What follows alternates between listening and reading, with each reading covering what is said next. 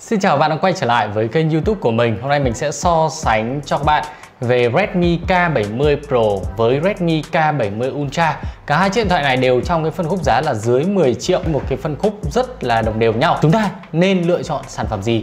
Và đương nhiên rồi cái so sánh của mình thì chỉ là những cái quan điểm khách quan thôi.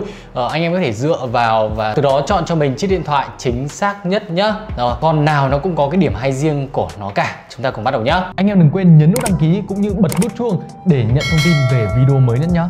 Mình sẽ cho các bạn xem về trọng lượng này. Đây đều là hai con máy thuộc dòng Redmi Nhưng mà trọng lượng của nó tương đối cao Bởi vì nó đều trang bị những cái vật liệu khá cao cấp. Ví dụ như K70 Pro nó khoảng 207,9 gram Còn với K70 Ultra thì nó rơi khoảng 216 gram. Vậy là K70 Ultra nó đã nặng hơn so với cả K70 Pro. Mình nghĩ cái vấn đề này dễ hiểu thôi. Vì sao ạ? Mặc dù là đều sử dụng khung kim loại và trước sau bằng kính. Các bạn có thể xem thông số là biết con K70 Ultra này, Nó sở hữu một cái viên pin lên tới là 5.500 mAh. K70 Pro nó chỉ là 5.000 mà thôi, Cùng hỗ trợ với công nghệ sạc nhanh là 120W cái này thì rõ ràng là K70 Ultra nó đã cho một cái mức sử dụng tốt hơn rất là nhiều rồi sử dụng hàng ngày ấy. Thì mình cũng đã có làm một cái video test game trên K70 Ultra các bạn có thể xem lại. Với viên pin 5500 của máy có một cái thời gian chơi game khá là ok. Đây là cái um, cách test game của mình nha mình thì đang mùa hè mà thế nên có bật một chút điều hòa. À, ngoài ra thì thiết kế của con K70 Ultra với cá nhân của mình là nó sẽ nổi bật hơn một chút. Đẹp hay xấu thì luôn luôn là thẩm mỹ của mỗi người nhưng mà với cá nhân mình là vậy con K70 Pro thì có đúng một cái hay ở phiên bản màu trắng này là nó có vân đá còn K70 Ultra thì nó là nhám hoàn toàn kiểu ngọc trai. Nhưng mà K70 Ultra ấy, thì cái ờ, cái cam của nó này đó, nó sẽ được chia thành uh, hai tầng. Là cái thứ nhất cái thứ hai là cam nó được làm vuông và bo cong cũng như là có những cái vạch vạch ở đằng sau này rất là hay rất là ấn tượng còn K70 Pro thì nó sẽ là tròn xoe và nó không được chia tầng nhá. K70 Pro thì sử dụng khung kim loại là bóng còn K70 Ultra sử dụng khung kim loại là nhám thấy chưa? Thì K70 Pro mình nghĩ là nó sẽ cho lại một cái cảm quan nhìn vào từ phần bên hông là sang hơn. Nhưng mà nó lại bám rất nhiều dấu vân tay và chúng ta nếu mà dùng trần thì sẽ phải lau thường xuyên. Còn K70 Ultra thì các bạn không cần lau. Nó cũng đã rất là uh, không bám dấu vân tay rồi con này thì còn có cả một cái ờ, cần gạt vạch vạch, rất là hay, trên K70 Ultra rồi không nhám gì nó cũng rất là lầm lì nhỉ. Về cái đết thì rõ ràng rồi, con K70 Ultra nó sẽ hơn các bạn ạ. Nó vừa mới ra mắt cách đây khoảng một thời gian rất ngắn thôi. Còn K70 Pro thì nó được khoảng tầm là hơn nửa năm một chút. Đó. thì anh em nào quan tâm đết sẽ thích K70 Ultra đều vân tay phía dưới màn hình nhá, nhưng K70 Pro mình quên mất mình chưa cài đấy, con này thì nó sẽ ở cái vị trí khá thấp. K70 Pro nó cũng tầm như vậy. Về màn hình nhá mình sẽ zoom sát vào những cái ờ, chỗ để cho các bạn xem. Đầu tiên là phần chán này. Chán thì có lẽ là bằng nhau. À, dạ. nó có chế độ ờ, chia sẻ các bạn ạ.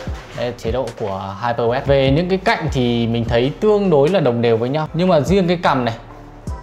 Cái cằm thì với cá nhân của mình là con K70 Ultra nó mỏng hơn một chút. Không biết các bạn nhìn rõ không? Nó mỏng hơn một chút các bạn ạ. Đấy, thế nên là nhìn từ phần mặt trước thì chúng ta sẽ cảm giác là K70 Ultra gần như bốn viền benzen nó bằng nhau. Nhìn nó khá là thích. Về màn hình thì mình thích trên con K70 Ultra hơn. Còn về tấm nền đó, chất lượng hiển thị thì với K70 Ultra chúng ta sẽ sử dụng một tấm nền là OLED 68 tỷ màu tần số quét 144Hz kích thước 6,67 inch và độ phân giải là 1,5K còn với K70 Pro nó sẽ là OLED 68 tỷ màu 120Hz 6,67 inch và độ phân giải là Quad HD cộng. Có nghĩa là độ phân giải trên K70 Pro nó cao hơn so với cả độ phân giải trên K70 Ultra. Nhưng mà thực tế thì khi mà các bạn mở ra ấy Xiaomi sẽ mặc định để độ phân giải trên K70 Pro là Full HD cộng. Với mình thì Full HD cộng nó vẫn nét thôi. Chẳng qua anh em nào thích nét một cách siêu khủng khiếp thì các bạn mới kích lên Quad HD cộng. Quad HD cộng thì nhiều anh em hay nói là 2K cộng vậy nhưng mà thực tế nó là Quad HD cộng nhé nó còn cao hơn cả 2K cộng cơ nếu mà để cái mặc định trên K70 Pro này, nó lại không nét bằng K70 Ultra các bạn nhé bởi vì con này mặc định nó là 1.5K rồi và tần số quét con này là 144 nó sẽ nhanh hơn một xíu nếu mà các bạn dùng nguyên một máy, các bạn sẽ không cảm nhận ra được đâu chỉ khi mà các bạn để hai máy cạnh nhau thì các bạn mới thấy là 144 nó mượt hơn nhá. Nó mượt hơn chút thôi. Thực ra là cái này nó cũng không quá quan trọng, nó thật như thế. 120 144 đều là một tốc độ rất là cao. Có khác một chút nữa trên tấm nền của hai sản phẩm này, nó khác dây chuyền. Nên con K70 Ultra, nó sẽ theo một cái tông hơi ấm. Không biết các bạn có nhìn rõ trên máy quay không? Còn K70 Pro thì nó tông lạnh hơn. Một con là ấm một con là lạnh. Rồi, ok, độ sáng màn hình của hai con này đều khá khủng tối đa là khoảng tầm là 4.000 nit có nghĩa là một số những cái nội dung liên quan đến à, uh, HDR thì nó sẽ là siêu uh, siêu sáng các bạn nhé. Cả hai máy thì đều được trang bị loa stereo đầu tiên là Ultra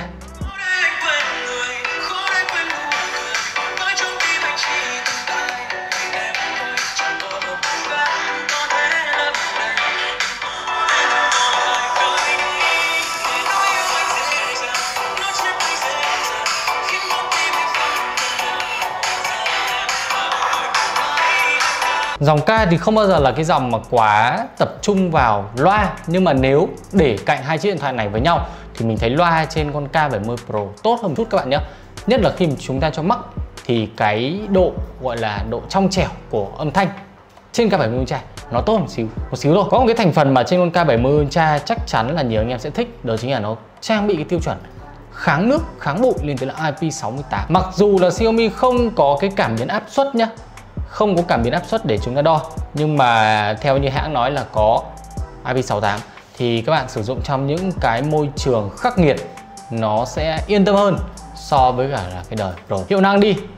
K70 Pro được trang bị con chip là Snap 8 Gen 3 thì đối với cá nhân của mình nhé đây sẽ là ưu điểm của K70 Pro nếu để so sánh K70 Ultra. À, mặc dù là bây giờ Dimensity nó đã có những cái hiệu năng rất là khủng khiếp rồi nhưng mà nhiều anh em vẫn, kiểu, yêu thích Snap thì đó là quan điểm của anh em thôi. Nếu mà anh em nào quá yêu thích Snap thì vẫn nên chọn K70 Pro cả hai sản phẩm này mình đều có bán nhé con nào cũng có bán thôi anh em ờ, cứ thoải mái lựa chọn với Antutu thì nó sẽ chấm được trên Snap 8.3 khoảng tầm 2 triệu 034 nghìn điểm còn uh, trên ờ, uh, K70 Ultra nó sẽ là 2 triệu 058 nghìn điểm con này thì sử dụng ở Dimensity 9300 Plus cũng là con chip mạnh nhất của Dimen thời điểm hiện tại. Cả hai máy thì đều sản xuất chip trên tiến trình là 4 nanomet và có hỗ trợ 5G. Đều uh, sử dụng một GPU rất là mạnh. Con này là Adreno 750, còn con này là G72 và có tận là 12 nhân cùng sử dụng chuẩn bộ như trong là 4.0 cao nhất của Android và cũng sử dụng chuẩn RAM cực kỳ khủng luôn. Con này là 5X còn con này là 5X trên 5T. Có vẻ như RAM trên con này nó còn tốt hơn xíu nữa trên con Ultra. Hiệu năng thì mình cũng đã test game trên cả hai sản phẩm này cho các bạn xem rồi. Các bạn có thể xem lại trên kênh nhé. Nhìn chung thì nó đều có thể cân được những cái tựa game mạnh mẽ ở bây giờ thôi. Tuy nhiên thì nhiệt độ với mình thì con 9300 Plus nó đang tốt hơn một xíu tốt hơn một xíu thôi. Còn chơi những game rất nặng như kiểu Genshin ở mức cực cao và 60 thì có vẻ như 8 Gen 3 nó sẽ ổn định hơn một chút anh em ạ. Nhưng mà nếu mà anh em chơi những tựa game uh, vừa vừa hơn hoặc là kể cả anh em chơi Genshin nhưng mà ở mức trung bình hoặc là anh em chơi PUBG ở cái mức cao nhất hoặc là anh em chơi Liên minh huyền thoại tốc chiến ở mức cao nhất thì hai con chip này mình nghĩ là nó không có sự khác biệt nhau quá là nhiều. Vẫn là những chiếc điện thoại hiệu năng siêu khủng ở phân khúc giá là dưới 10 triệu nhá. Cam hay phết anh em ạ còn um, K70 Pro thì sử dụng camera selfie độ phân giải là 16 chấm, K70 Ultra sẽ là 20 chấm. Phía sau thì cảm biến đều là 50 chấm có chống zoom khoa học nhưng mà F trên con à, K70 Pro sẽ là F chia 1.6 Đấy, thu sáng sẽ tốt hơn một xíu. Còn K70 Ultra là F chia 1.7 Nhưng mà cảm biến nó khác nhau nhé, tí nữa mình sẽ so sánh. À, Tuy nhiên K70 Pro nó có cam tele lên tới 50 chấm các bạn ạ. Còn K70 Ultra lại không có cam tele. Cái này là cái điểm thiếu sót của K70 Ultra. Và Ultra Wide con này là 8 chấm Ultra Wide của bọn Pro nó sẽ là 12 chấm. À, Đều có khả năng quay phim Full HD 60 khung hình cam sau Và cũng như là 4K 60 khung hình ở cam sau. Nhưng cam trước Đấy, thì cái này khác biệt này.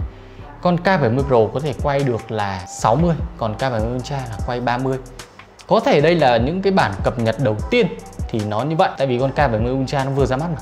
Để khi nào nó có nhiều những cái bản cập nhật tiếp theo thì mình sẽ cập nhật và gửi đến cho bạn những thông tin cụ thể nhất. Còn bây giờ thì chúng ta cứ so sánh đã nhé bức ảnh đầu tiên là mình chụp ống kính 2x các bạn ạ. Tại vì con này khác biệt uh, rất lớn ở cái ống kính tele đúng không? Đây đây là tele con này tele 50 chấm còn con này tele thì là chỉ là crop thôi. Nhưng mà không hiểu tại sao nhá tele trên cái con ultra ấy nó lại chi tiết rất rất tốt. Đấy mặc dù là nó theo dạng là cố tình AI để làm nó ga nhưng mà AI trên con này xử lý khá hiệu quả. Còn à, uh, tele trên con K70 Pro thì có vẻ như ảnh này mình có vẻ như bị ao nét các bạn hay là mình chụp nhanh quá ta? Đấy nhá mình cùng dơ cả hai máy lên cùng lúc và chụp thì mình sẽ để trên màn hình cho các bạn. Bức ảnh tiếp theo là mình chụp ống kính 1x nhá. Và các bạn thấy không? Màu trên con K70 Ultra này nó làm tươi hơn rõ rệt luôn. Chi tiết nó cũng được làm nét hơn. Cái này thì mình nghĩ là can thiệp bởi AI khá nhiều. Nhưng mà với mình nhá với mình nhá quan điểm cá nhân thôi thì mình lại thấy màu như thế này trên K70 Ultra là thích hơn. Là thích hơn các bạn ạ. Ở cái chụp chân dung ấy thì hơi buồn cười một chỗ một chỗ là cái con um, K70 Pro nó có chụp chân dung ở góc rất rộng. Các bạn có thể là điều chỉnh cái góc này hoặc các bạn về là 35mm thì nó bằng với cả K70 uh, Pro. Rồi thì thôi mình so sánh với cả cái um, 35mm đi. Lại một lần nữa màu sắc trên con K70 Ultra làm mình ưng hơn nó làm tươi hơn. Nó không bị làm sậm quá. Nhờ. Ok uh, quay phim Full HD và 60 khung hình xem con nào chống zoom tốt hơn. Chả hiểu sao màu trên con K70 Pro lúc nào nó cũng hơi tối hơn một chút so với cả K70 Ultra các bạn. Mặc dù F của nó trên trên 1.6 lận. Chống rung thì đều ok thôi. Nhưng mà màu thì mình Đấy mình sẽ để trên màn hình cho các bạn xem. Cái này clip này thì con K70 Pro nó còn làm Nó lại làm nét cơ. Con K70 Ultra nó không làm nét là, Ảo thật đấy. Ảnh thì con K70 Ultra làm nét hơn Nhưng mà clip thì K70 Pro làm nét hơn. Nhưng mà quay phim cam trước này. Các bạn thấy không? Là con K70 Pro ấy. 60 Thế nhìn nó mượt hơn đáng kể Đúng không? K70 Ultra thì nó là 30 Nên là không thể mượt bằng được. Màu trên uh, Pro thì nó Mặt của mình sang một cái tông lạnh Còn Ultra mặt của mình sang một tông ấm. Con này thì đều có công nghệ NFC nhá. NFC Các bạn úp vào nhau là các bạn sẽ thấy là nó nhảy ra như thế này Đấy. Và cũng như là chúng ta đều có thể kết nối được OTG rồi đều có thể là sạc 120W vân tay cùng ở phía dưới màn hình. Tóm lại thì đây là một cái video so sánh cũng khá là đầy đủ những cái thành phần của K70 Pro và K70 Ultra để cho các bạn xem rồi. Từ màn hình đến thiết kế, đến viền màn hình, đến con chip hay là đến cam nữa. Các bạn nghĩ sao về K70 Pro và K70 Ultra? Đừng quên để lại ý kiến nhé. Cả hai sản phẩm này mình đều có bán nha. Thì có thể nhắn tin qua bên mình ở Facebook hoặc ờ, Zalo ở phía dưới mô tả và phần comment game nha. Bây giờ thì xin chào và hẹn gặp lại.